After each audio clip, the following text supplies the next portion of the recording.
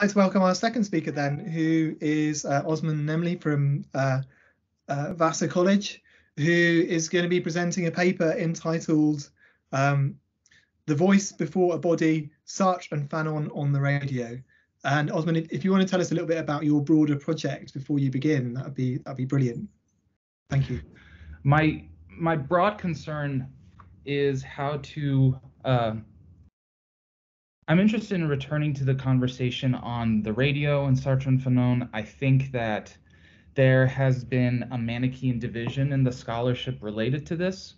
And so I want to treat the radio uh, broadly uh, and look at the radio today broadly as contributing to neo-colonial mystifications. In the talk today, I just want to highlight the reasons why I think the radio is an interesting case study. I think ultimately for Sartre and Fanon, the radio reveals to um, go to a Deleuzean concept, perhaps the encounter between dialectical and anti-dialectical reason.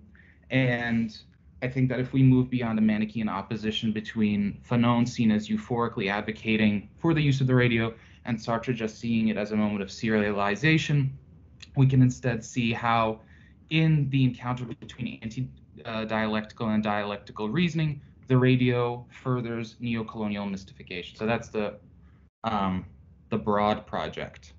Um, but with that, I'll I'll, I'll start and, and see how far I get. Um, uh, thank you. Um, so scholarship has tended to approach Sartre and Fanon's respective views on the radio in a generally unreflective Manichean manner. Not that their readings are unreflective, just how the two are positioned. They're usually seen as opposites, with Sartre having the stand, uh, according to the standard reading of the first volume of the Critique of Dialectical Reason, a negative view of the radio, similar to Adorno's view of the culture industry. While Fanon, based upon the revolutionary text This is the Voice of Algeria, offers a more positive and revolutionarily politically progressive uh, account. Ian Baucom, for one, in his Frantz Fanon's Radio, Solidarity, Diaspora, and the Tactics of Listening, uh, offers in an otherwise perspicuous reading the following. He says, quote, Fanon elaborates a theory of agency and collectivity quite different from that outlined in contemporaneous analyses of radio listening. In his examination of radio listening and collectives and the critique of dialectical reason, Sartre insisted that an audience of radio listeners had anything but a productive relationship to interpolative authority of the broadcast voice. Instead, Sartre argues such audiences are characterized by their passivity. End quote. Um, I take the sort of compartmentalized and rather undialectical uh, view of this to be inadequate to the situatedness of both authors uh, and their positionality. Um, what I mean by unreflective here is that the particular situation of both texts of Sartre's and Fanon's is not addressed. While the general conditions that Sartre and Fanon are described are, one, the technology of the radio, two, the social and political circumstances and ontology of group formation, and three, colonialism and imperialism more generally, these three conditions uh, mean very little in an abstract way. Uh, and this bad abstraction would be unmediated. The ways in which these three conditions work are revealed via the mediated mediating situation of, first, I would say, the use of the radio on the part of colonial forces in colonial mainland France, on the one hand for Sartre, and the second, the use of the radio on the part of colonial forces and counter use of the radio by colonized peoples in the colony in Algeria, uh, on the other hand, by Fanon. So, first, uh, addressing Fanon's account. Uh, following Simone de Beauvoir, we can say that one is not born, but rather becomes a body. a voice, according to Fanon and Sartre's analysis, facilitates this becoming. Um, so speak of the devil and he appears, kind of. Uh, there's nothing natural or necessary in the formation of a body, be it human or national. For Fanon, the radio is not neutral. After introducing the radio as a technical instrument and as providing a system of information, he highlights 1954 as a pivotal year uh, and turning point for the use of the radio in the Algerian War of Independence. Prior to then, it was a tool of domination and a tool of the colonial forces that disseminated information and that dehumanized the colonized Algerian population while following through with a form of linguistic colonialism. After 54, when it becomes part of the struggle, three elements come to the fore. Uh, first, the battle of and between truths. A second, how communication is a condition of possibility and impossibility for different forms of community. And three, a phenomenological interpretation of the broadcast voice and listener, almost a cyborg account of the voice. I wish to focus on this third element, the voice and the radio, and th- what this voice does. The immediate context for focusing on the third aspect is recent scholarship on Fanon that has returned to the debate from the 90s, namely whether Fanon's philosophical approach tends towards dialectics or anti dialectics. Then Robert Bernasconi and Nigel Gibson, to name two, provided approaches of a dialectical Fanon. The anti-dialectical Fanon was advocated by and continues today to be advocated by Ato Sekyi-Otu. More recently, the anti-dialectical reading has been provided by Gavin Arnall, while a dialectical Fanon is addressed by George Ciccariello-Maher. My approach here is not to enter into that debate, but to show how one aspect of what readers of an anti-dialectical Fanon emphasize, the famed reference to Aristotelian logic. So usually to argue that uh, Fanon is an anti-dialectical thinker, um, scholars turn to uh, Aristotle's account of non-synthesizable and mutually exclusive pairs. Um, I want to address how the radio mediates another Aristotelian pairing, one that has a political resonance, and how what appears to be mutually exclusive in the register of logic is much more ambiguous and fluid in political circumstances. I'm, of course, discussing Aristotle's distinction between phone and logos, sound and speech, noise and reason from his politics. Aristotle admits there are many political animals, but of these animals, none except the human possesses logos. He, firmer, he further famously distinguishes the understanding of logos from its position when discussing the reference between citizens and slaves. Although he does not mention Aristotle explicitly, as he does in The Wretched of the Earth, um, in the radio piece, Fanon implicitly invokes an Aristotelian distinction used in a political context to separate citizen from slave. The radio broadcast prior to 1954 operates in a manner that compartmentalizes the colony, separating and segregating it in a Manichaean manner by contributing to linguistic violence. The radio voice is a voice of the occupier, according to Fanon. He writes, quote, every French expression referring to the Algerian had a humiliating content.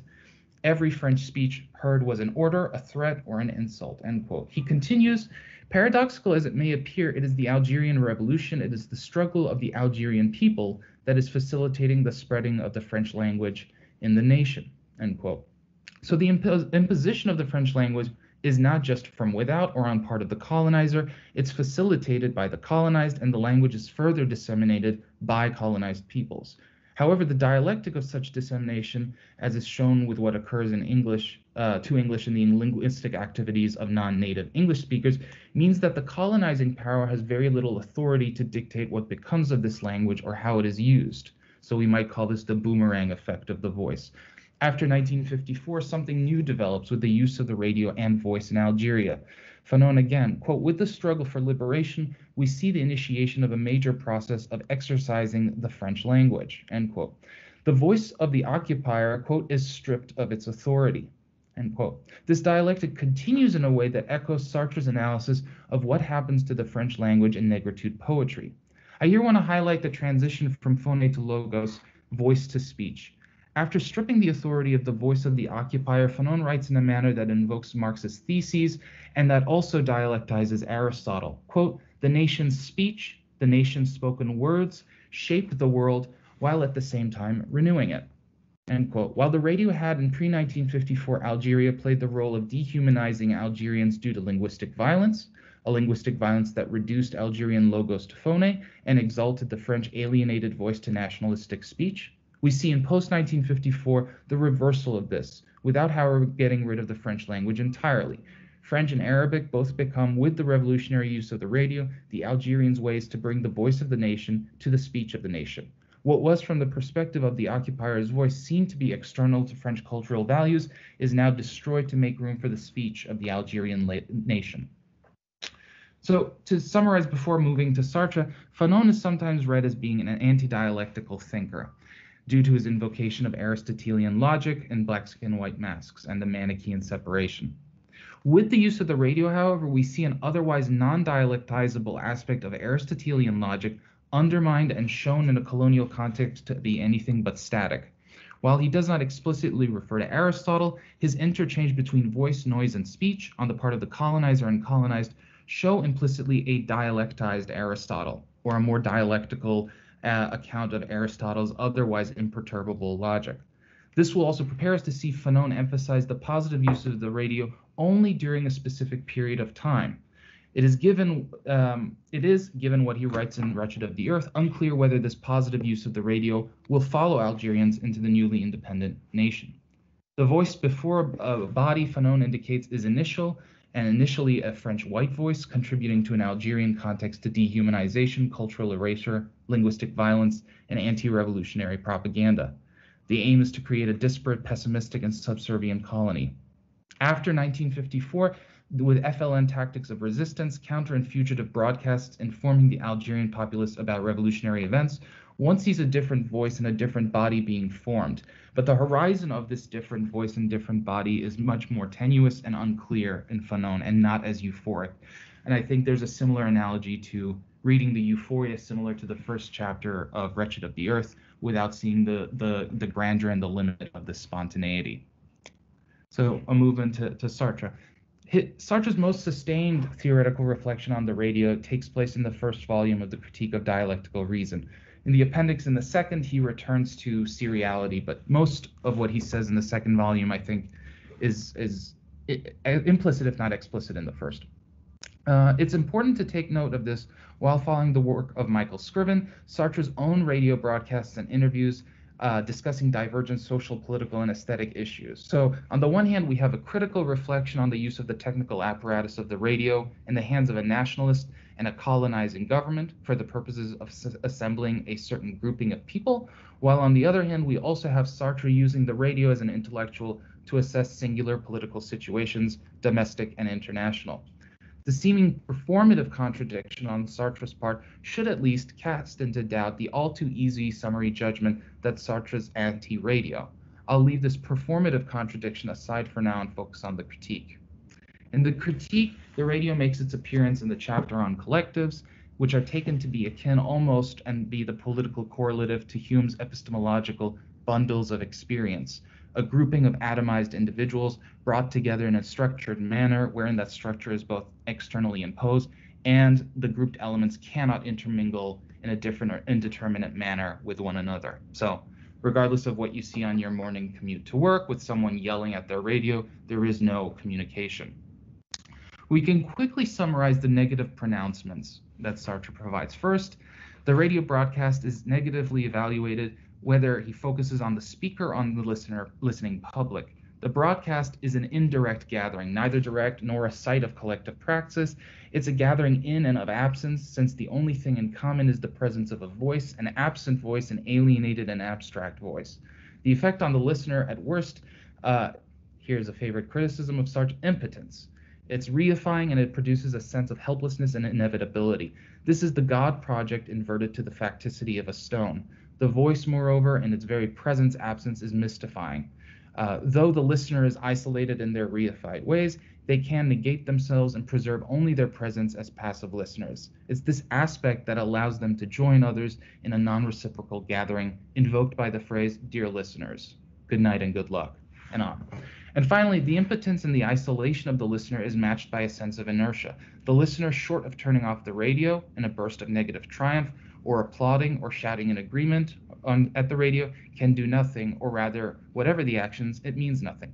I think Lewis Gordon has an interesting analysis of the radio in terms of just turning the dial from, uh, uh, I guess, radio broadcasts that are at one end of the spectrum and then at the other, but the middle broadcasts uh, white popular music. One can almost see Sartre's analysis of the radio applying to a pre 1954 Algeria as described by Fanon. So this is a moment of, I think, historical um, hysteresis, a sort of bracketing of history. Sartre's analysis pushes back on the cultural resistance and social ontological regression at work in how a broadcasting voice contributes to crafting an overwhelmingly white French body, and one that ultimately is suffocating. I think the last two pages on the section on the radio, we get an indication of resistance to the radio's creation of inertia.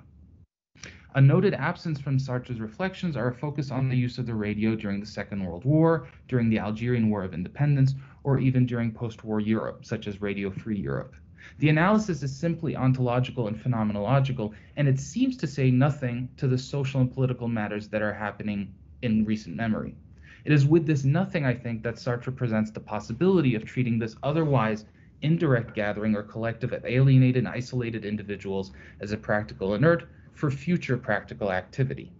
What I call the radio broadcast's voice before a body is an indication of what Sartre has as alterity, whether concrete and specific to particular broadcasts or pure and formal according to broadcasting capabilities more generally. His account initially remains at the level articulated by Fanon. The radio broadcast is both part of a technical system of communication and it serves the purpose of conveying information. However, in describing at least three possible dialectical responses to the radio and three implications of the serial assemblage involved by the voice alienated from the body, we can get an idea of how the very means of impotence, what was yesterday described, I would say, as, as failure, inevitable, necessary, uh, can, in its formal ambiguity or inherent non neutrality, result in alternative possibilities. The voice before a body here gestures to the fundamentally ambiguous and non neutral voice of a body not yet here. So we can think of pirated voices orchestrating new bodies. So moving further, what reveals itself in Sartre's analysis in a way that complements Fanon's account from Wretched of the Earth is that the radio is not just neutral, but tied to either national interests, nationalizing interests, or multinational corporatist ones. This makes it fundamentally problematic, yet nonetheless necessary that we respond to. We can examine this via two different scenes. One is the advertisement calling from individuals to own, as a sign of affluence, their own radio set, while the other asks individuals to gather around a radio in a cafe, tea house, or community center. The former serves to isolate, reducing the individual to passive listener and affluent owner. The other invites the possibility of a group in fusion. And this alternative either or, I think, stages precisely the dialectic and anti dialectical encounter. Rather than seeing Sartre's analysis as simply a negative evaluation and critical description of the radio, we might approach this and other collective gatherings differently if we see them as invitations to contribute with a collective praxis to the isolating gatherings and the practico inert. Sartre begins his colonialism as a system by discussing, this, diagnosing what he calls the neo-colonialist mystification. He writes, Neocolonialists think that there are some very good colonists and some very wicked ones, and that it's the fault of the latter that the situation of the colonies has deteriorated. End quote. Such mystifications, though not new, also don't seem to go away, even if and when colonialists have been removed and colonialism dismantled. How frequently, indeed, have current hegemonic institutions defended themselves and the morally repulsive and politically unjust actions of their members and representatives by claiming that the occurrence of any reprehensible behavior does not represent the values of this institution, or that there is no systemic issue here but individual cases. We can call this the fruit seller apology, that it is not the tree or the orchard that's the problem, but that we're only dealing with a case of bad apples. Such defenses have not gone away, nor have their contemporary diagnoses uh, diminished. What Sartre diagnosed as the neo colonialist mystification comes back as an institution's obscene underside. Writing um, Writing further on, Sartre emphasizes uh, in a sarcastic and sardonic tone this neo-colonial mystification. Quote, but above all, let us not bring politics into this. Politics is abstract. What is the use of voting if you're dying of hunger? This sort of ethical um, uh, kidnapping and hi- hijacking of the discussion. Those who come to talk to us about free elections, about a constituent assembly, about Algerian independence are agitators or troublemakers who only cloud the issue. Neocolonialism as a keyword is not frequently referenced in the secondary literature on Sartre and Fanon when it comes to the radio. Though not a subject frowned upon, it is with each advancing year featured less and less as a topic of discussion. This is a number of effects in how Sartre and Fanon are read, both individually as critics of the neocolonialist aspect uh, and how they are read in tandem with one another when it comes to the radio. And while I think Lewis Gordon's work really advocates for the use and emphasis of neocolonialism, it doesn't come back in the scholarship that, that I've seen in the context of the radio. While Fanon is adamant that colonialism, at least in its Algerian context, will fail, that is the horizon, he is less and less optimistic when it comes to the dangers of neocolonialism and the possibility of the new nation avoiding the pull of Western capitalism on the one hand and Eastern socialism on the other. This initial silence, or at least reticence, to address neocolonialism as a topic of concern is troublesome for both of them. Such silences suggest either that Sartre and Fanon and others are wrong to raise this worry, um, and that the aftermaths of both liberation and the work of former colonial powers to maintain economic and political dominance is fraught. And another option is that neocolonialism as a topic of discussion, concept, or subdisciplinary concern is also avoided when we discuss the radio. So on the one hand, it seems that we're confirming the death of neocolonialism as, as concept when discussing the radio, which we already admit no longer matters. And I want to claim that in the larger project, the radio is alive more than ever through streaming processes. The attitude towards neocolonialism is not that different than the attitudes one finds in the scholarship towards the political importance and topical viability of the radio more generally. So I, I, I want to maybe bring this to a conclusion by uh, emphasizing a number of points. One is that I think we can respond to an anti-dialectical reading of Fanon by what I take to be an implicit dialectizing of Arist- Aristotelian logic when it comes to voice and speech. Um, I think the radio is a case study that shows how a Manichaean strict opposition between forces can be undermined. I then see that uh, Sartre's account of the radio in France is a serializing one that facilitates colonization, but is not, as it were, blocked from an anti colonial resistance domestically. Um, so I'll, I'll, end it with that. Um, I don't know how much more time I have, but uh, thank you very much.